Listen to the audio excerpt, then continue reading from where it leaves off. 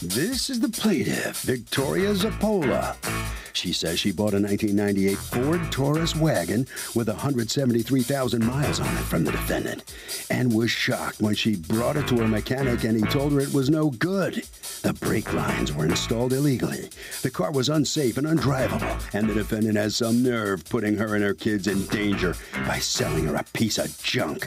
She's suing for every penny of the $1,100 she's out and thinks she will walk out into the hall the victor today.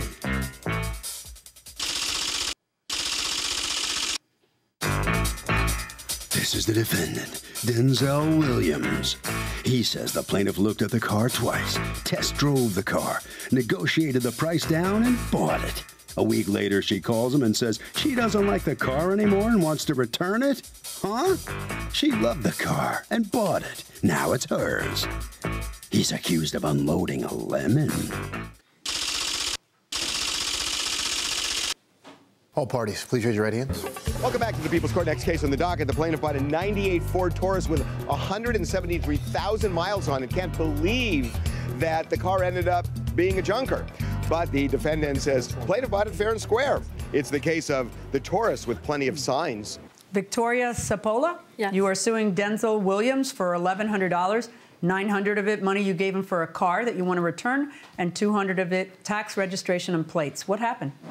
Well, basically, I bought the car from them on uh, the 9th. I found the ad on Craigslist, and they were selling it for $900, and I needed a car. Do you have the Craigslist ad? Yes, I do. Okay, let me see it. Okay. Thank you.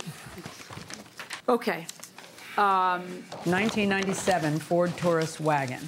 Odometer 170. I presume that means 70,000. 170,000. Well, that's why it was a cheap buy, you know? Yeah. Okay. But we have a saying, my grandmother used to always say, lo barato sale caro. The cheap comes out expensive. It sure does. Okay? So that day, I had contacted them, and they said it's somebody else was looking at it, first come, first serve. So I brought my mechanic with me to go see, and she, I was outside the house, and she told me she'll be out. And then 10 minutes later, she called and said she's actually not home. So I ended up dropping him off, going home. Later that night, around 6:37, they called back and said you can come look at it now. And I was like, why not? Might as well just take a look at the car. But at that point, my mechanic couldn't come because he was at home, I'm sure. So I brought her with me. We went to look at the car, and Why'd you uh, bring her? uh, Does she know cars or just because she's your friend? Uh, both. Okay. Yeah. So we both went. Um, we test drove the car. Well, she test drove the car. Everything seemed fine. I told them that I would buy it, and You uh, didn't want to wait for your mechanic to see it the next day? well, I did. I did let him see it the next day. But No, they, I mean they- before buying it. Well, yeah, they were rushing me through it because Wait a they minute, said rushing you through it. The money's in your pocket. You don't have to release it. other people were looking at the car and I needed Ah, it immediately. Okay, but that's different from them rushing you through it. Yeah. You were rushing you through it because you wanted it. All right. Exactly. So you buy it that night. Is there any paperwork associated with the purchase? Um, yes, I just have. May I see all the paperwork? Sure. How about you? Do you have any paperwork associated with the purchase? Yes. All right. Is this um, the contract that you signed? Yes. Okay, and yours also says sell as is. Yes. Do you have the title that he gave you? No, um, DMV confiscates the old title and sends you a new title, and the new one came with the lien on it. And if you see the Craigslist Did the old ad, one have a lien on it? it it did have the lien on it, but I didn't I didn't know that. Didn't you look at it? Yes, but I didn't I didn't understand really what he basically told me. If you pay twenty dollars, that it'll be taken care of. Whose lien was that? Was that a loan you had on it? No, I buy it from somebody. He say he, he buy it with the lien. He say check. Okay, everybody's got a lien. Is anybody paying the bank? I don't get it. That's what a lien means. That the No. bank is owed money. No, I check it. No money on it. Okay, did is that what you told her? I told her before she buy the car. I said, this car I buy it with a lien on it. Mm-hmm. It's a '97 car. Okay, so the paper you got said lien, and according to, did you say what's a lien? Yes, I asked him. I said, "What is this?" And he said, "Oh, don't worry about it. It's just a lien. It's all paid off. I If you pay twenty dollars when you register the vehicle, they'll remove it and it won't be on your new title." Okay, and then what happened? And then it sure was on my title, and they said well, that. did you pay the twenty dollars? Did No, you show wouldn't. proof that the that the loan had been paid off? See, it's a little more of a hassle than that. There's an actual legal procedure that needs to be followed. the DMV had just told me basically that he has to remove it, that I can't do anything about it because it is in his name. No, it's not in his name. And yes, you can do something about it. And the Craigslist advertisement says title status clear, if you see. Okay. Title status clean. Why would you print on your Craigslist as clean when there's a lien on it? Would you buy a car with 173,000 miles? Depending on how much, uh, nah. Okay, let's say uh, $800. Would you buy the car? Uh, Say no. yes. Going inside the courtroom. I was the one who posted. Who are you to him? I'm his daughter-in-law. Okay. But then he told her that. Yeah, I mean, she's testifying that before the sale, you knew that, that it Yeah. said lien, right? Yes. I sure do. Well, we got to figure out if that's a problem or not a problem. Because basically, you make a representation to her that it's not a problem, it's a $20 issue. Yes, that's Okay, well, that better be true. Because if not, then, then you can't do what you did. You know, you've got a bunch of, of um, problems with the car that you don't like. What are the problems?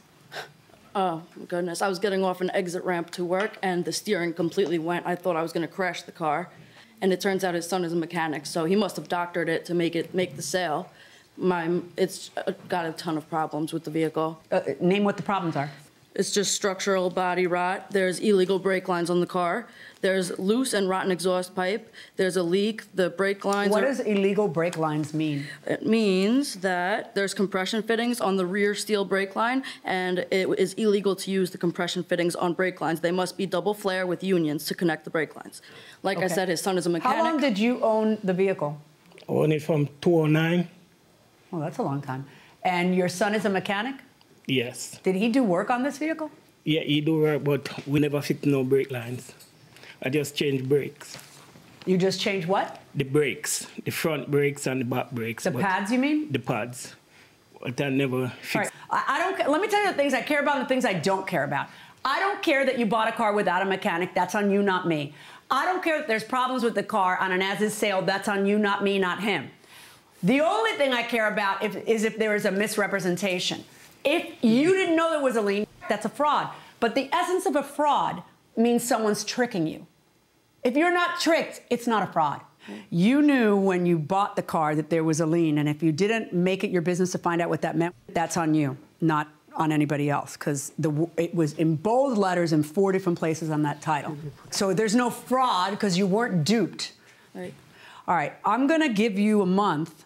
If you need more time, contact the court. Right. If it turns out that you can provide to the court something from the bank saying money's owed, I will rescind this sale and he will return your money. Right. Okay. Good luck, folks. Thank you. So the sale's back on hold for the moment. So step on in here right next to me, right here. What's your next move? Um, to send the letter and find out what's going on with the lien. Mm-hmm. All right. What do you expect is going to happen here? I'm ex- suspecting that there's going to be money owed. All right. Well, we will see. Yeah, All we'll right. find out. All right. You have your homework to do. Get to it. All right. So step on in here. Uh, you heard what the judge ruled. What do you think of that? I think she need a free car and get back her money. Is there money owed on the car? I buy the car with the lien. I show her before I sell her the Are you car. worried w- about what might happen when she writes this letter and finds out? I know that I don't have no lien on it. I You buy- might get this car back. Okay. You want it? Yes, it's a good car. Harvey? Okay, Curt. Well, it turns out there was no lien on the car, so she had to keep the car and pay the dough. Uh, word to the wise 173,000 miles. You are playing with fire.